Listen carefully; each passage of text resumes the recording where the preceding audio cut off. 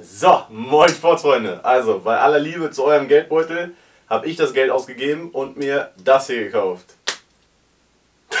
so, okay. Also.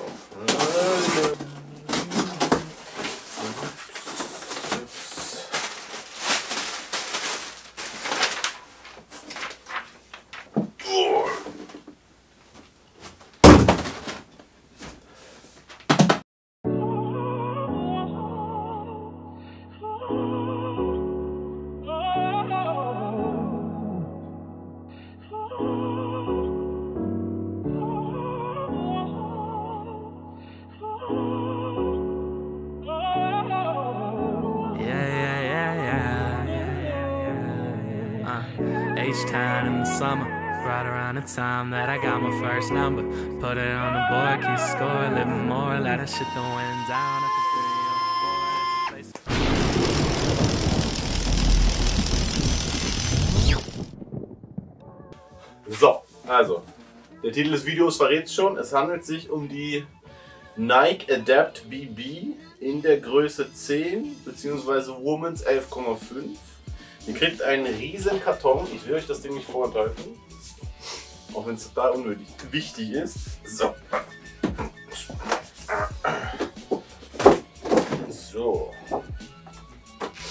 Also, wo sind hier oben? Ich weiß nicht. Ich weiß nicht, wo oben ist. So, wahrscheinlich. Ja. Und das war's von mir, Leute. Klingt scheiße auf? Aha, okay. Also, im Deckel habt ihr das schwere. Euer neues Tanzbrett. Mit sogar einem USB-C-Anschluss. Gar nicht schlecht, hätte ich nicht gedacht. Dementsprechend ein Netzteil vermute ich mal. Wir gucken mal rein. Ja, leck mich doch.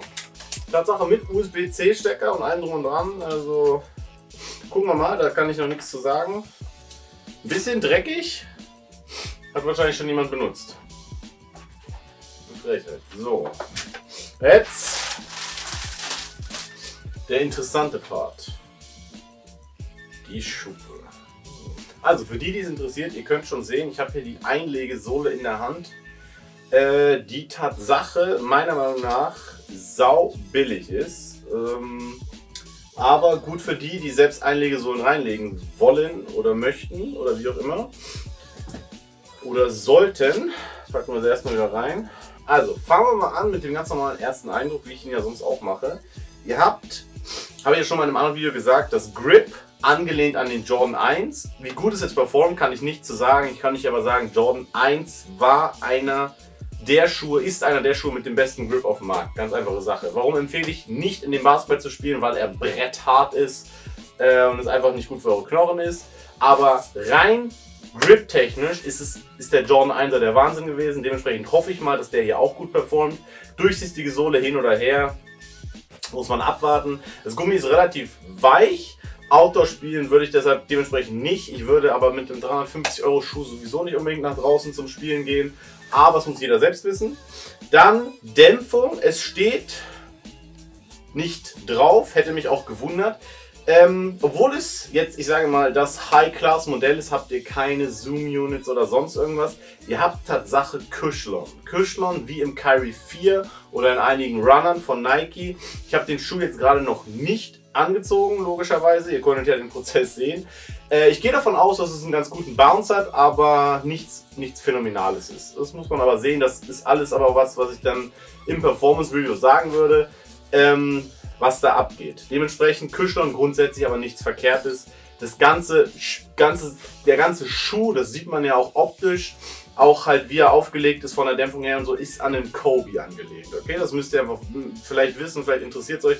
Der Typ, der Designer, der alle Kobes der letzten Jahre designt hat, ich glaube angefangen mit dem Kobe 6 ungefähr oder sowas, ähm, hat auch diesen Schuh designt und ich meine im Endeffekt, ich hole mir jetzt keinen, aber man sieht, dass das an den Kobe angelehnt ist, ist ja auch nicht schlimm.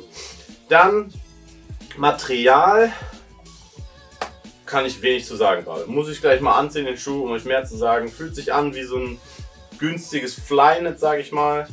Ähm, grundsätzlich nicht verkehrt, aber auch relativ unspannend, weil interessant ist ja einfach, wie ist der Fit, wie, was geht ab, wenn ihr hier auf irgendwelche Knöpfe drückt. Und ähm, ja, insofern ich diesen Schuh zum Laufen kriege, werden wir mal gucken, was da abgeht.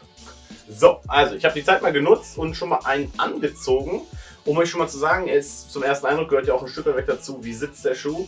Ähm, verhältnismäßig schmal wie halt einen Kobe, nicht zu schmal. Also ich denke, mit normal breiten Füßen kommt sie auch noch gut weg. Wenn ihr wirklich breite Füße habt, könnte es tricky werden. Kann ich jetzt schwer was zu sagen. Ähm, und in der Länge müsst ihr wirklich aufpassen. Ich würde behaupten, also für mich, ich habe es wie immer eine 44 genommen und der sitzt für mich perfekt, sage ich jetzt einfach mal. Gefühlt. Das ist immer so eine Sache, wenn man ihn einfach anzieht und wenn man spielt, ist immer ein Unterschied.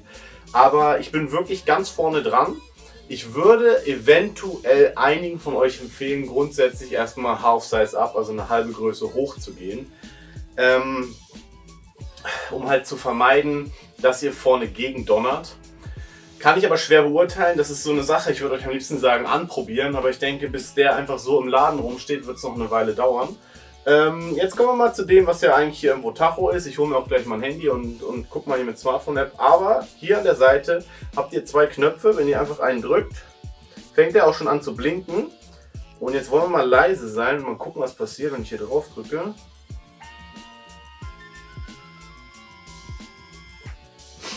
Das war fest.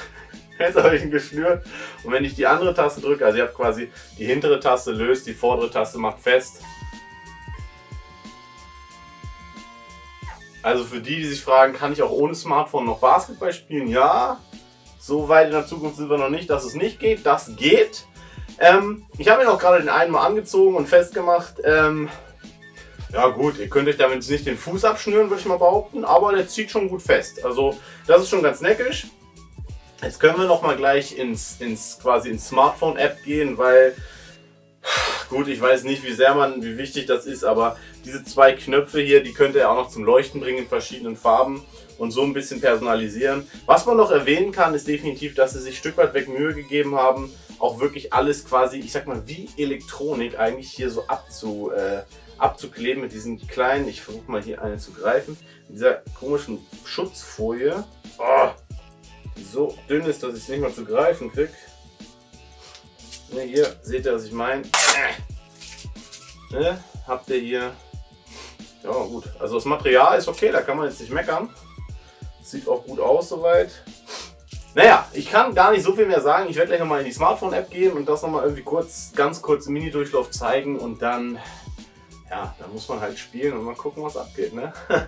so, aber bevor ich mich noch kurz in die Smartphone-App verabschiede, sage ich euch schon mal anders. Wer diesen Schuh auch hat, soll bitte auf jeden Fall irgendwie kommentieren, was sein erster Eindruck ist, ob er schon gespielt hat, was er vielleicht auch für Sorgen hat oder sonst was.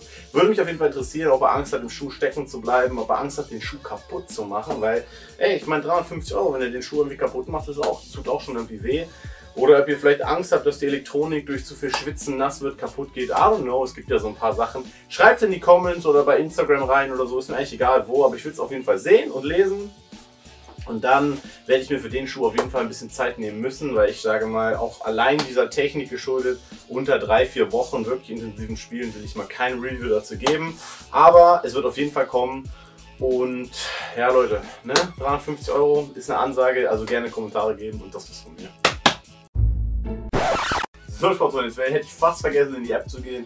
Hier ist die App. Ihr seht es jetzt hier. Ich äh, nehme sie nebenbei auch einfach mal auf.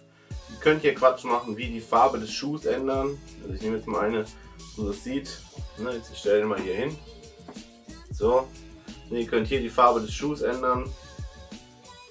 Wie ihr das wünscht. Und ihr könnt, das ist jetzt zum Beispiel der rechte Schuh,